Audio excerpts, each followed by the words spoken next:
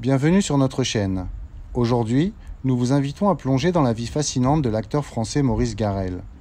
Tout au long de sa carrière, Garel a illuminé le cinéma français de son talent et de sa présence charismatique. Préparez-vous à découvrir les moments marquants de sa carrière, les personnages mémorables qu'il a incarnés et l'impact durable qu'il a laissé dans l'industrie cinématographique française. Accrochez-vous, car cette histoire promet d'être passionnante et riche en émotions. Laissez-nous vous présenter la vie de l'acteur français Maurice Garel. Maurice Garel est né le 24 février 1923 à Saint-Germain-en-Laye, une commune située dans la région Île-de-France, en France. Il était le fils de Philippe Garel, un architecte, et de Marie-Hélène Boyer, une artiste peintre. Garel a grandi dans un milieu artistique, entouré de créativité et d'expression artistique. Dès son jeune âge, Garel s'est intéressé au monde du spectacle et a développé un intérêt particulier pour l'art dramatique. Il a nourri sa passion en fréquentant le Conservatoire national supérieur d'art dramatique de Paris, où il a étudié et perfectionné ses compétences d'acteur. C'est là qu'il a acquis les connaissances et les techniques nécessaires pour faire ses débuts sur scène.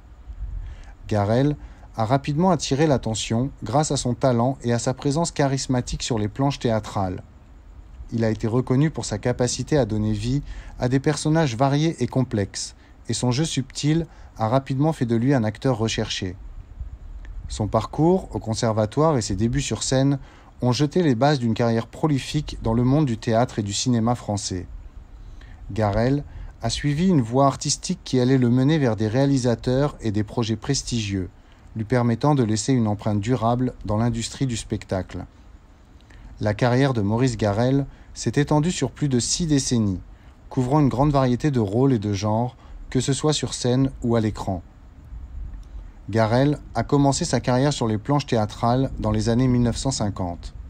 Il a travaillé avec des metteurs en scène renommés tels que Jean-Louis Barrault et Roger Planchon, jouant dans des pièces classiques et contemporaines.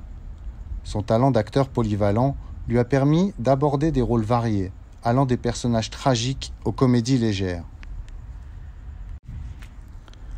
Dans les années 1960, Garel a fait ses débuts au cinéma et a rapidement gagné en notoriété.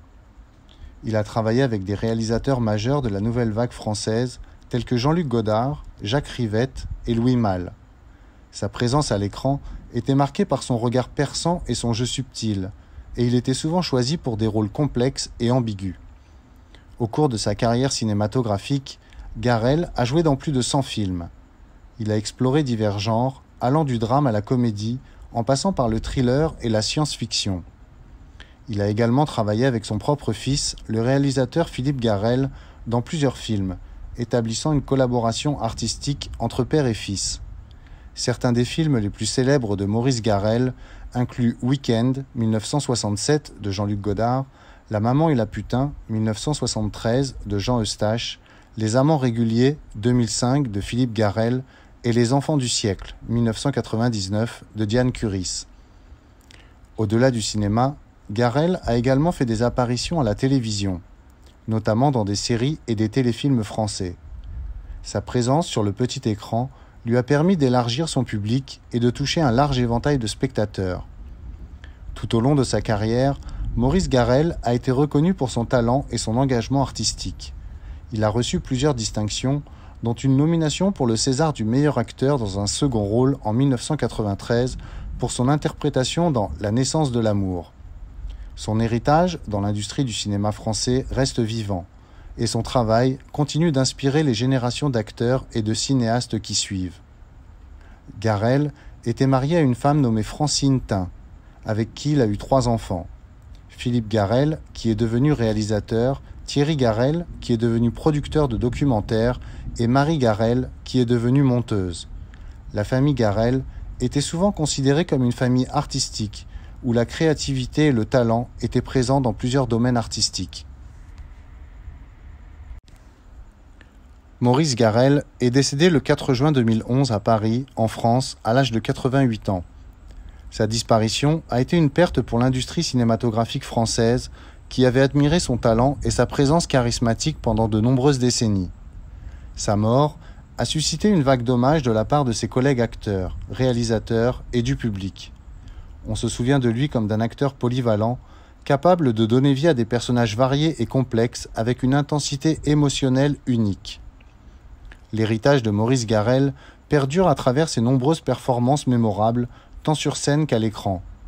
Son influence continue d'inspirer de nombreux acteurs et cinéastes d'aujourd'hui, et son nom reste associé au cinéma français et à la nouvelle vague. Et voilà, c'est la fin de notre histoire sur la vie de l'acteur français Maurice Garel. Nous espérons que vous avez apprécié cette plongée dans sa carrière et sa contribution au monde du cinéma. Si vous souhaitez en savoir plus sur d'autres personnalités ou explorer différents sujets, n'hésitez pas à rester connecté à notre chaîne. Abonnez-vous dès maintenant pour recevoir les dernières mises à jour et ne manquez aucune de nos vidéos fascinantes. Nous vous remercions de votre soutien continu et de votre intérêt pour notre contenu. Ensemble, continuons à célébrer les talents artistiques et à explorer les merveilles du monde du spectacle. Inscrivez-vous dès maintenant et rejoignez-nous pour de nouvelles aventures cinématographiques passionnantes.